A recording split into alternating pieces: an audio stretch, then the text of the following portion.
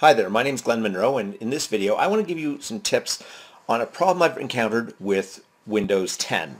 See Windows 10 is, is so far there's a lot of good things about it but one thing I really hate about it is that it's taken over what files open what programs. So a .doc is still open by Word and a .xls is still open by Excel.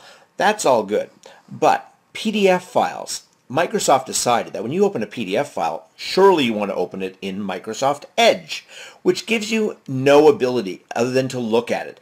It's virtual paper. I can do a web note or something like that. I know what that is. I can have it all one screen or have it widescreen, so I can do this, but I can't do anything to it. I can't click and type. There's no options here. Can I right click on it? Save as. That's it. So it's turned my PDFs into useless documents. This is all part of Microsoft's battle with Adobe. So I'm going to close this down. I want to fix this. I want my PDFs opening with Adobe where I can make annotations and edit things. I go to my Start button. I go to my Settings, and I'll go to my System. Under System, I'll choose Default Apps, and here's a list I'm going to go down here to find choose it. Uh, sorry, try again. Choose default apps by file type. This is going to load in a list of every single file type. This will take a little bit of time. So the little bar is getting smaller. I'll drag this all the way down and I'm at M's. Okay, so I'm getting there. So I got to wait for it to load in a bit more. There is no control F to search. Can't do that. I can't click over here and type a PD. Nope, can't do that. So you have to go hunt for it it's this is an awful means of finding things. There's no search option at all at this time. So let's go hunting down here, find my PDFs, and there it is. PDF file, Microsoft Edge. No.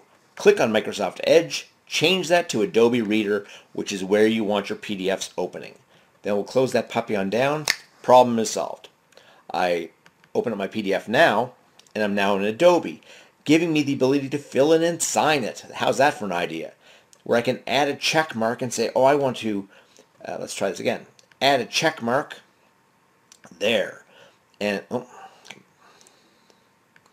put the check mark where I want to put it. So I can check mark it now.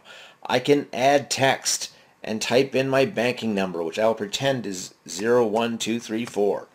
If you think that's my number, you go, good luck with that. But what my number is doesn't matter. It's can I do something with it? Can I fill out the things? And you can kind of play around with this. I could type one letter at a time. The other thing I love about Adobe is you can add a signature. And so what I did was I had to take a piece of paper, write my signature on it, hold it up to a camera, have it clear, approve I was okay with it, and now I have that and stored it, so I can choose to place my signature, and there we go. Now I've signed this document. And now it's legit. Let me undo that. Oh, there we go. So there's things you can do with Adobe that Microsoft Edge doesn't give you the opportunity to do. I love Microsoft, but this is a mistake, and it frustrated me. It might frustrate you as well. Hopefully the solution helps. Be sure to subscribe to keep updated for other things like this. I'll keep posting my pet peeves.